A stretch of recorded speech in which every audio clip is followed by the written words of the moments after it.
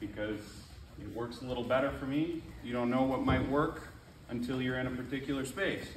So part of the reason I do that is most guys I play are right-handed.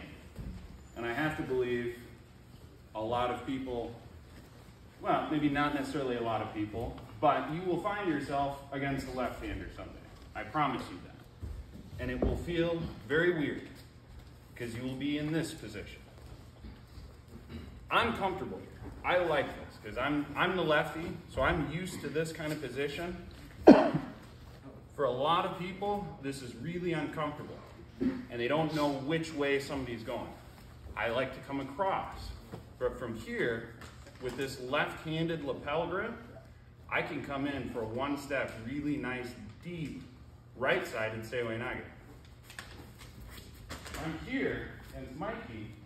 First thing I want to do, I want to make sure any wrestlers in the room, inside. I want to be, I want to have the inside tie. So I've got my left lapel grip and my elbow controls the window. Okay? If I want to open the door, I turn my elbow up. I've got this space. Mikey would more than likely want to fight over it, lock in, but I want that inside control. If I got to come up a little higher, I do. From here, you may remember when we were doing, see, this the right side. Okay. So I'm not used to teaching us. Left hand up. My first step would normally be across with my right foot for right-sided Seoi Nage.